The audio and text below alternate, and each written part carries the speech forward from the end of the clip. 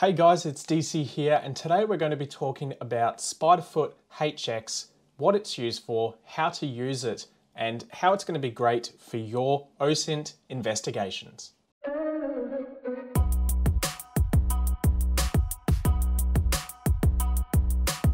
So to introduce Spiderfoot, Spiderfoot is essentially an open source investigation tool. The great thing about Spiderfoot is that it integrates with so many other different vendors to bring all of the best data that you need into one easy to read and manage platform. There are two versions of the software. One is one that you would install on your own machine and the other is the HX version, which is a web hosted one that you can, you basically just sign up an account and you can use that straight away. Okay, so we have here a comparison between the two products, the open source and the Spiderfoot HX products. Now, I just wanted to quickly explain the, the difference here um, by quickly reading through this section. So the open source version is a self-hosted and focused on data collection version. If your use case is focused solely on data collection on small to medium targets and you wish to run Spiderfoot within your own infrastructure that you set up, secure and maintain with support from the community, the open source version is probably the best option for you. With the open source version, most of the modules from Spiderfoot HX are available, but the ability to navigate, visualize, monitor, and investigate is not available.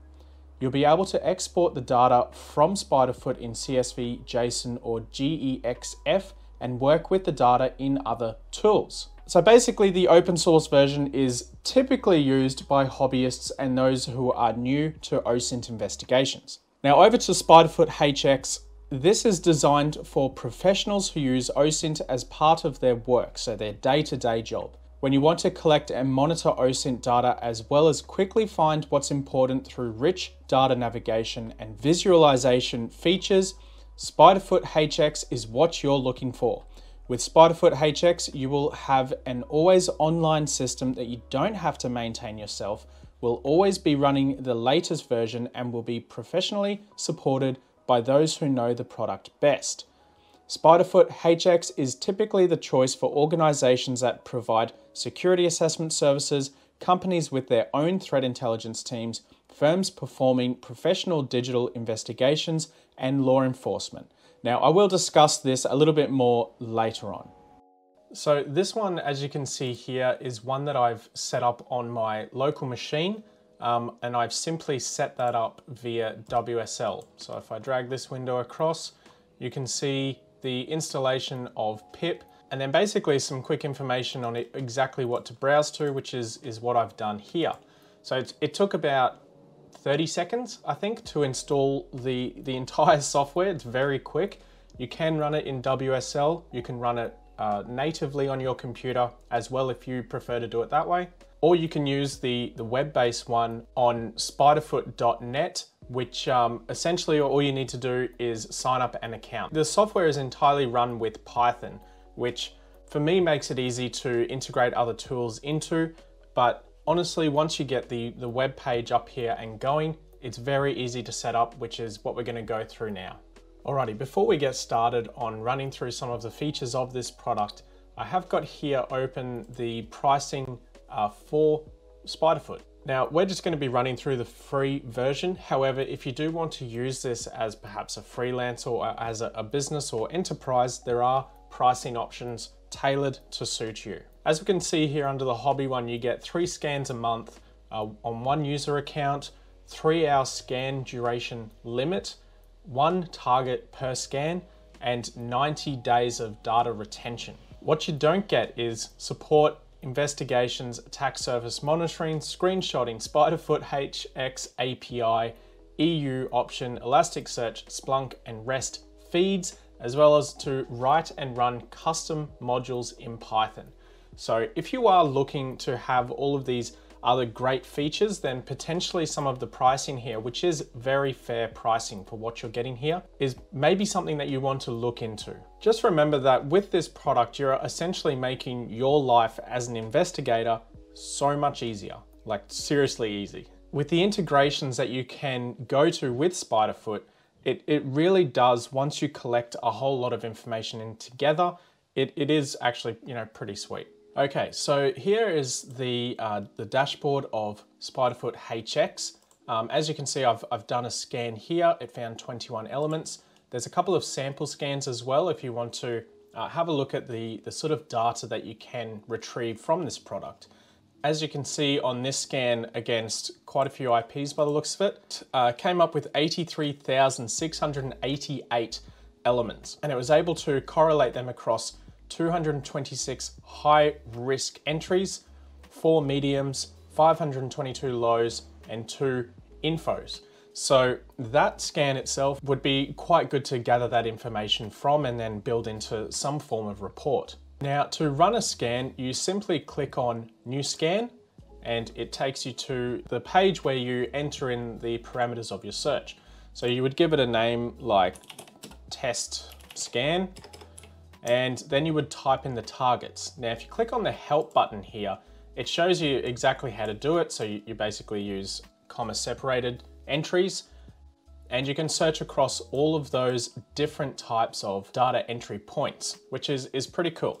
Now, this is without any modules, without any iterations, nothing, just a, a basic scan. So we'll go back to the scan that I've already performed because I'm running on the free plan here, so I can't do too much. We'll go into the one that I've named DC Cybersec, and what I scanned in here was my work email address.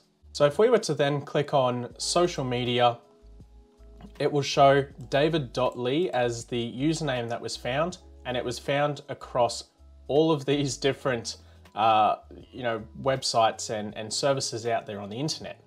Now, all you need to do with this is to simply click on one of the entry points and it will take you, as you can see from the uh, browser piece down the bottom, that it's gonna take me to linktree uh, forward slash david.lee.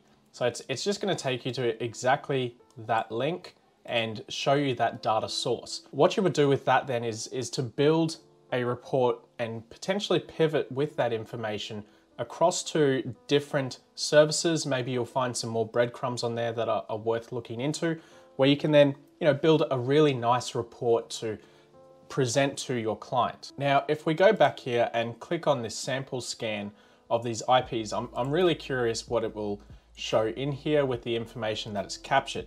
Okay, as you can see, this is quite a lot more in-depth than my basic scan on my email address because there was a lot of information to build from. You can see there's phone numbers, domain names, blacklisted IPs, SSL certificates. There's all sorts of fantastic information here. Now, I, what I really want to see is the, uh, the high risk um, criticality entries that have, had a, that have come in here. So here we go. There's lots of blacklists, lots of malicious emails apparently. So this, uh, this IP address or IPs were um, potentially used in some sort of scam, and this is where this information has been picked up from. Down the bottom here, we can see some pretty interesting stuff like unencrypted password pages, which if you wanted to, I guess, dive further into, then you, you could do that and potentially get even more information out of that, as well as, you know, if depending on how unencrypted it is, if you want to sort of go on the attack a little bit and find out what else is on that website, maybe there's some database leaks, you could potentially do that. Which that sort of takes it more over to the pen testing side and not so much the OSINT side, but having a tool that can gather all of this information for you and, and build it all together into this really easy to understand data output is absolutely priceless. So as you can see here from this scan that I'm, I'm looking at here, this is the one from my um, machine that I've built myself here to, to do the scan. So you can see up the top, it's the local host new scan. And as you can see here as well, the data points or scan targets are slightly different to what you would search for on the HX version. What I really like about this is being able to perform a passive scan, which is, as it says here, when you don't want the target to even suspect they are being investigated.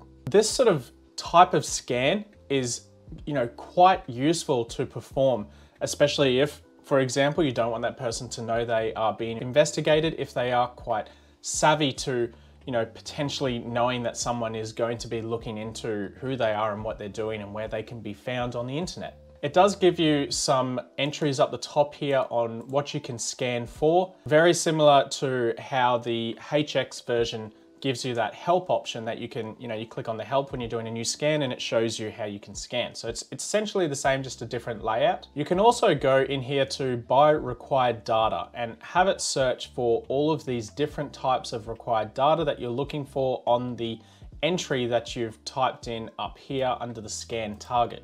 You can also change this to go by module as well, which just gives you a little bit more uh, functionality on how to perform that scan. So it's essentially like doing the HX version, but with filters. And instead of it, you doing the filters later, you would do them up front. So if you are one of those people who are performing OSINT investigations and you want to automate the process as much as possible so you can click scan, go and get a cup of coffee, you know, chill out on the couch, watch some Netflix, whatever, and then come back to see all of your results displayed nicely as we've shown you here and being able to dive deeper into each step to then further build a report from. This tool is an absolute must for you. There is ample documentation on their website on spiderfoot.net. And yeah, it's, it's just a great product. Now, something that I've, I've seen people using it for a lot lately is for attack surface monitoring. So for example, you're in an organization and you want to uh, see what the attack surface is for the people, systems, and processes that are currently in your organization. This sort of use case is actually, you know, pretty damn good because not only is it automated, it makes it a little bit easier so you can get to the tasks that require a little bit more manual input. This information to then display to, you know, an IT manager or a CTO or, you know, someone who can make the decisions on what to do with that data is, you know, quite valuable to that company. As you may have heard a few times before, sometimes the weakest link within a system is actually the people who are using it. So being able to you know, basically scan over what those threats potentially might be, build them into a report, present it, and then make changes based off that information is quite useful to have when you go hand in hand with things like cybersecurity awareness training.